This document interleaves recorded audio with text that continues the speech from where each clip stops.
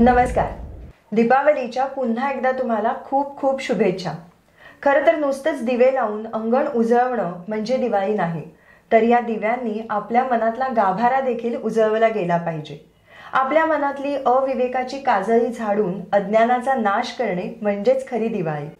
आपल्या अंतःकरणातील प्रेरणेचा नवचैतन्याचा हा दीप जर लहानपणापासून आपण जागृत करू शकलो तर येणाऱ्या आयुष्यामधील आपल्या भावना विचार आणि संवेदना यांच्या शलाका म्हणजेच ज्योती खूप तेजाळ होतील. आणि आपण आपल्या आजूबाजूचा एक आनंदी समाज घडवू शकू. दिष्टी मीडिया प्रस्तुत प्रॉस्पर मनीमार्ट प्रायोजित मनस्विता दीपोत्सव कर्तृत्वाचा या कार्यक्रमाच्या आपल्या आजच्या भागातल्या आपल्या मनस्विता आहेत सौ वृषाली देवस्थळे. त्यांच्या श्री स्वामी समर्थ बालसंस्कार केंद्रामध्ये श्लोक आणि स्तोत्र पठणाबरोबर मनातला हा विवेकदीप देखील कसा प्रज्वलित करायचा याचं प्रशिक्षण दिलं जातं. तेव्हा चला आपण वृषालीकडूनच जाणून घेऊया त्यांच्या या कार्याबद्दल. नमस्कार वृषाली. नमस्कार नमस्कार. वृषाली तुमच्या या बालसंस्कार केंद्राबद्दल आम्हाला थोडी माहिती द्या ना. श्री स्वामी समर्थ बालसंस्कार केंद्र या नावाने मी हे संस्कार केंद्र चालवते. आणि याच्यामध्ये म- नुसते श्लोक स्तोत्र शिकवणं हा उद्देश नाही आहे तर मुलांचा सर्वांगीण विकास म्हणजे मानसिक शारीरिक सांस्कृतिक सडझडणघडण त्यांची झाली पाहिजे व्यवस्थित. हा उद्देश आहे त्याच्यामागचा हे असं वेगळं संस्कार केंद्र आपण सुरू करावं. असं तुम्हाला का वाटलं? कॉलेज करता करताच मी वेगवेगळ्या शाळांमध्ये ॲज अ शिक्षिका म्हणून मी कार्यरत होते. आणि कुठेतरी म्हणजे असं मला वाटायचं की मुलांना त्यांच्या कलेने शिकवता आलं पाहिजे. पण त्या शाळेच्या चौकटीत राहून शिकवायला लागायचं. त्यामुळे मग मी दहा बारा वर्ष नोकरी केली आणि त्याच्यानंतर मग शाळा सोडून दिली. आपल्याला समाधान मिळालं पाहिजे आणि मुलांना घडवता आलं पाहिजे. हा एक उद्देश होता. आणि मग तेव्हापासून मी या संस्कार वर्गाला सुरुवात केली. म्हणजे साधारण किती वर्षांपूर्वी हा हे सुरू केलं? दोन हजार तेरा पासून मी छोटे छोटे असे समर कॅम्प घ्यायला लागले पंधरा पंधरा दिवसांचे. आणि मग लोकांना हळूहळू त्याच्यातनंच कळत गेलं की या ही एक व्यक्ती आहे की ती जरा चांगलं शिकवते म्हणजे अभ्यासाच्या व्यतिरिक्त मुलांना काहीतरी चांगलं ज्ञान मिळतं इथे. आणि मग तेव्हापासून मी संस्कार वर्गाला सुरुवात केली. साधारण किती दिवस हे आठवड्यातनं संस्कार वर्ग चालू असतात? समर कॅम्पच्या वेळेला तर आपण दर पंधरा पंधरा दिवसांची बॅच घेतच असतो. म्हणजे मुलांना जेव्हा सुट्ट्या लागतात मार्च एप्रिलला सुट्ट्या लागतात एरवी तर आपण हा अखंड यज्ञ चालू असतो. सोमवार ते गुरुवार आपलं संध्याकाळी साडेसहा ते आठ असं आपलं रोजचं रुटीन चाललेलं असतं. आणि त्याच्यामध्ये आपण वेगवेगळ्या ऍक्टिव्हिटीज घेतो. मुलांना मेडिटेशन शिकवणं तर मेडिटेशनचा फायदा एवढा होतो की मुलांना शांत होतात मुलं हळूहळू. मग आपण सुरुवात आपली प्रार्थनेने करतो. वामनराव पैंची प्रार्थना आहे हे ईश्वरा सर्वांना चांगली बुद्धी दे आरोग्य दे. आणि त्या प्रार्थनेने आपण सुरुवात करून मेडिटेशन मेडिटेशन नंतर मग खेळ असतात योगा असतो. असं एक दहा दहा मिनिटांची सेशन्स ठेवलेली असतात आपण. आणि मुलं खूप छान आनंदाने ते सगळं आत्मसात करतात. आणि मजा येते मुलांना. वृषाली साधारण कोणत्या वयोगटापासून मुलांनी बालसंस्कार केंद्रात यावं आणि सातत्याने येत राहावं? साधारण चार वर्ष हा उत्तम पर्याय आहे वयोगटाचा. आणि चार ते तेरा वर्षापर्यंत मी मुलांना ॲडमिशन घेते मुलांची. यामागचं कारण असं आहे की चारच्या आधी जर तुम्ही मुलांना पाठवलं तर त्यांची तेवढी बसण्याची ताकद नसते. सतत लक्ष इकडे तिकडे जात असतं. तर मुलांना कितपत आकलन होईल ह्या उद्देशाने मी चार वर्षापासून घेते. आणि सातत्य म्हणशील तर किमान तीन चार वर्ष तरी पुढे पालकांनी त्यांना ठेवावं संस्कार वर्गात. अजून काही वेगळेपण आहे का आपल्या या संस्कार केंद्राचं? हल्ली योगासनं वगैरे ह्या सगळ्यांपासून मुलं परावृत्त झालेली आहेत हळूहळू. त्यांना माहिती नाहीये योगासनं वगैरे काय आहे काय प्रकार आहे याच्याने आपल्याला पुढचा फ्यु- म्हणजे परिणाम चांगला काय मिळू शकतो? मुलांचं मराठी घेते मुलांचं अगदी बेसिकपासून चित्रकला मुलांना घेते पॅटर्न रायटिंगपासून इथे आपलं ड्रॉइंग आपण शिकवतो. नेहमीच्या पठडीतलं असं काही न करता काहीतरी वेगळं करण्याचा तुम्ही प्रयत्न केला. या संस्कार केंद्रात पालकांनी आपल्या मुलांना घालावं यासाठी सुद्धा तुम्हाला काही प्रयत्न करावे लागले. हो. तर या संपूर्ण प्रोसेसमध्ये तुम्हाला कोणकोणत्या अडचणी आल्या आणि तुम्ही त्याच्यावर कशा प्रकारे मात केली? सगळ्यात महत्त्वाचं म्हणजे मला अडचण आली ती जागेची. म्हणजे सुरुवातीला मी घरातनंच सुरू केलं. पंधरा पंधरा दिवसांच्या अशा बॅचेस करत होते मी.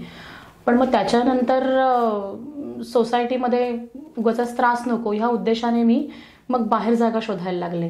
त्यावेळेला मला एका संस्थेने मदत केली की तू आमची जागा वापर आणि तुला जे काय स्वइच्छेने मानधन द्यायचं आहे ते तू देऊ शकतेस आम्हाला. मग तिथून माझा खरा प्रवास सुरू झाला. आणि पब्लिसिटी म्हणशील तर असं फार कधी माझी करण्याची वेळ आली नाही.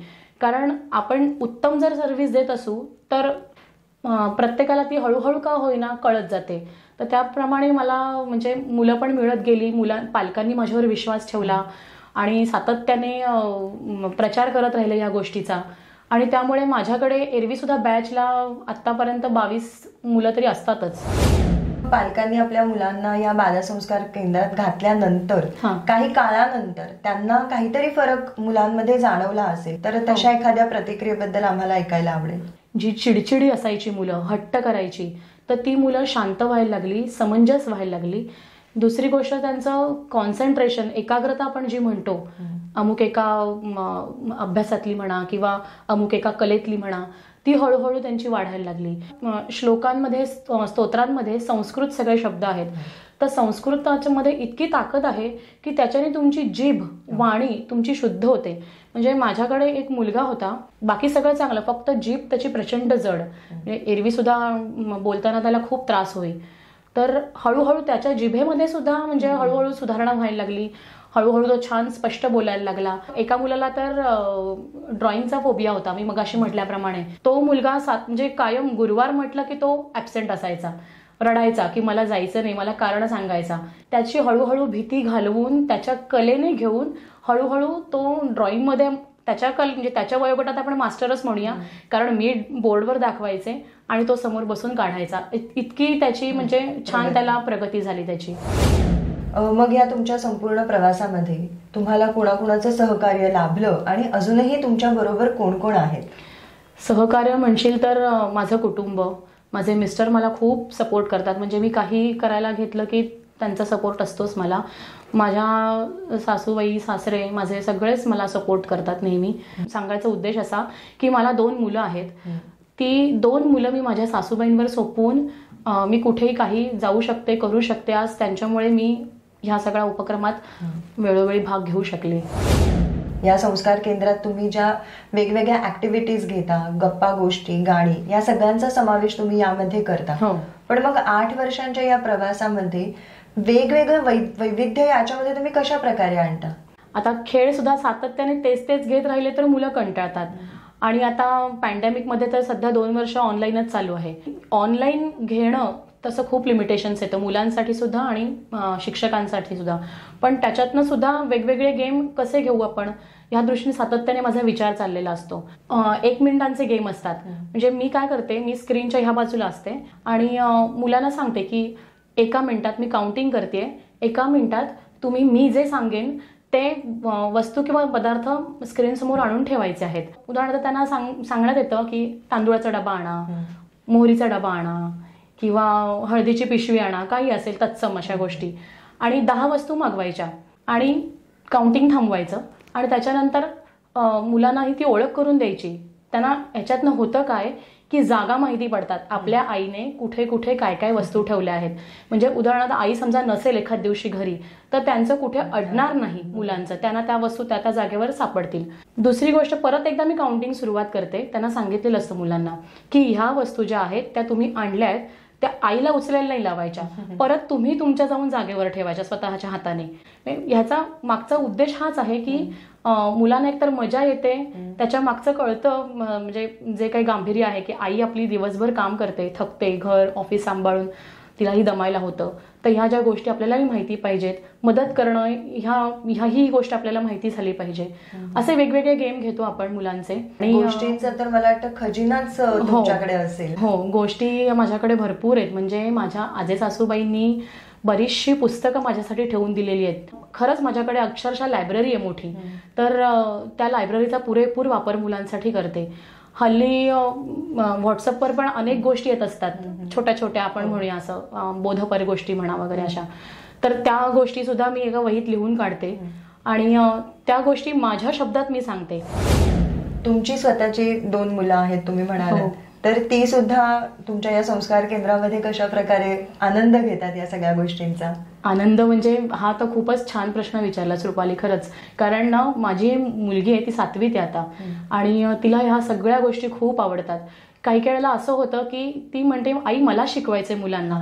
आणि जेव्हा ती समोर येते ना तेव्हा त्या छोट्या छोट्या मुलांसाठी ती ताई असते. आणि ताई शिकवते म्हटल्यावर मुल मुलं आणखीन खुश होतात म्हणजे. त्यामुळे तिचं पण सहकार्य मला नेहमी लाभतं. आणि मुलगा अजून तसा लहान आहे तोही हळूहळू शिकतोय. म्हणजे मी जे शिकवते मुलांना ते त्याच्या रोज कानाने कानावर पडत असं सातत्याने. आणि त्याचे सगळे म्हणजे श्लोक स्तोत्र ही सगळी पाठ झालेली आहेत आता व्यवसाय आणि सामाजिक भान. याची जाणीव ठेवून तुम्ही खरं तर हे संस्कार केंद्र सुरू केलं मग आता इतक्या वर्षांमध्ये असे अनेक प्रसंग देखील घडले असतील जेव्हा तुम्हाला आपण केलेल्या कार्याचं समाधान मिळालं असेल. हो. तर अशा एखाद दुसऱ्या उदाहरणाबद्दल ऐकायला आम्हाला निश्चितच आवडेल. नक्कीच. हे जे मी आता संस्कार वर्ग सुरू केलंय दोन हजार तेरापासनं तर ते आत्तापर्यंत म्हणजे आजच्या तारखेपर्यंत नो प्रॉफिट नो लॉसवरच मी चालवते. ह्याच्यातनं म्हणजे पैसा कमवावा हा उद्देश नाहीच आहे माझा. एक मुलं चांगली घडावी हा माझा ध्यास आहे. आता एक उदाहरणच मला द्यायला आवडेल इथे की सहावीत तो मुलगा होता. माझ्याकडे आला तेव्हा. आणि त्याच्या डोळ्यांखाली प्रचंड काळं झालेलं होतं. मला थोडंसं त्याच्याबद्दल का कोण जाणे बरेच दिवस वाटत होतं की हे असं का दिसतंय का सतत चंचल डिस्टर्ब असणं. म्हणून त्याच्या पालकांशी मी बोलले. म्हटलं एक्झॅक्टली प्रॉब्लेम काय यायचा काय झालंय? तर अं, त्याची आई म्हणाली की अमुक अमुक एका शाळेत आहे तो आणि त्याला गणिताची खूप भीती वाटते. गणित त्याला येत नाही. किती शिकवलं चांगल्या प्रकारे शिकवलं तरी तो आत्मसात करू शकत नाही इतकी त्याने मनात भीती घेतली आहे. मग त्यांना काही मी उपाय दिले म्हणजे संस्कार वर्गात पण ते उपाय त्याच्यावर होत आहेत. प्लस घरी सुद्धा करायला त्यांना काही मी उपाय दिले की तुम्ही रोज सकाळी त्याच्याकडनं ओंकार करून घ्या. आणि ओंकार करताना सुद्धा म्हणजे की मी मला गणित जमणार आहे. मला गणिताची भीती नाही आहे माझ्या मनातनं पूर्ण गणिताची भीती निघून गेलेली आहे. असं त्याच्याकडनं म्हणून घ्या. असं करता करता खरंच म्हणजे आपण जे म्हणतो ना की वास्तू तथास्तू म्हणत असते किंवा आपण जे चांगले विचार करू ते चांगल्या विचारांना पण आपल्याला पाठबळ कुठली तरी एक शक्ती देत असते. तर त्या शक्तीचा त्याला उपयोग झाला खरं सांगायचं तर. हा एक चांगला मला काय म्हणूया माझी एक अचिव्हमेंट म्हणा असं म्हणजे. खूप छान. अशी बरीच उदाहरणं आहेत पण हे एक माझ्या चांगलं लक्षात राहिलेलं उदाहरण आहे. येत्या काळात या बालसंस्कार केंद्राला घेऊन तुमचे काय टार्गेट असतील? टार्गेट म्हणशील तर म्हणजे ह्याचं विस्तारित रूप मला थोडंसं करायचं आहे. ते म्हणजे असं की आता ह्या डिसेंबरपासून येणाऱ्या डिसेंबरपासून मला लहान मुलांची शाळा सुरू करायची आहे. ह्या पॅन्डेमिकमध्ये मुलं शाळेत छोटी छोटी मुलं जी आहेत ती शाळेत जाऊ शकलेली नाही आहेत ह्याच्या मागचं कारण असं की त्यांना ऑनलाईन कितपत बसवायचं ह्या पालकांमध्ये सुद्धा प्रश्न आहे. आणि मुलं सहसा बसे बसतच नाहीत ऑनलाईन एका जागी. तर ह्या मुलांना junior K G senior K जीच्या अभ्यासक्रमापर्यंत आणून ठेवण्याची गरज आहे. पालकांचं मुलं ऐकत नाहीत. घरात राहून राहून चिडचिडी हट्टी झालीत.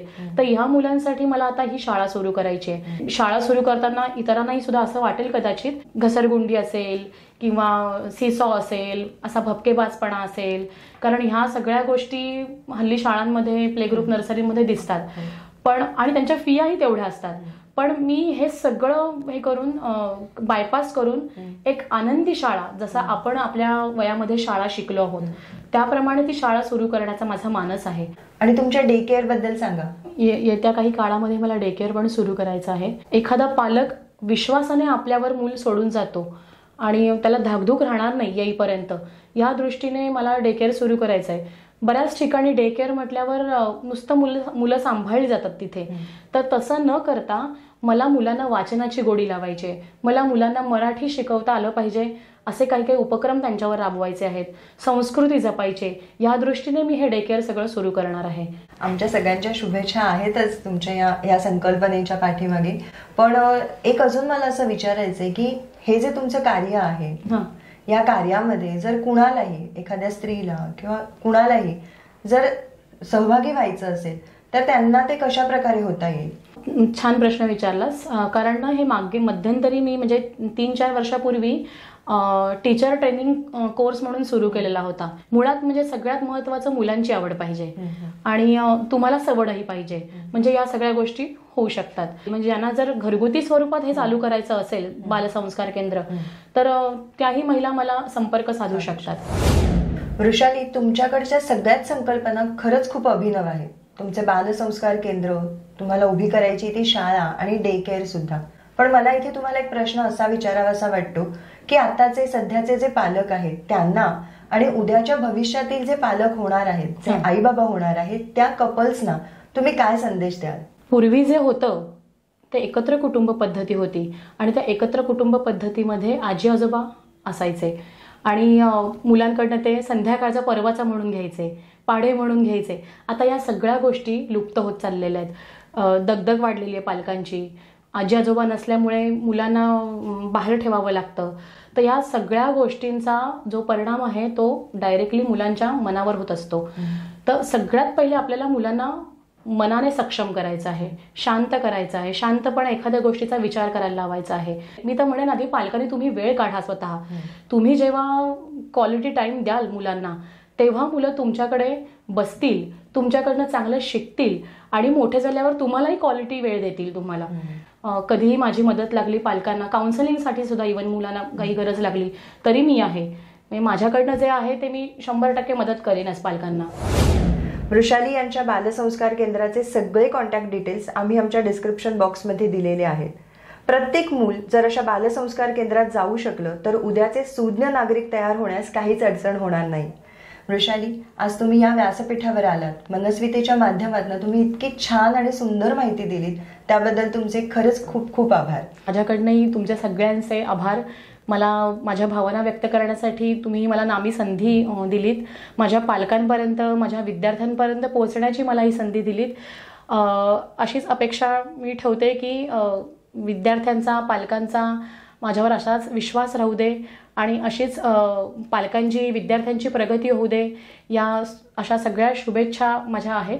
आणि दिवाळीच्या सगळ्यांना संस्कारमय खूप खूप शुभेच्छा. मुलं चांगली घडू देत ही माझी सदिच्छा.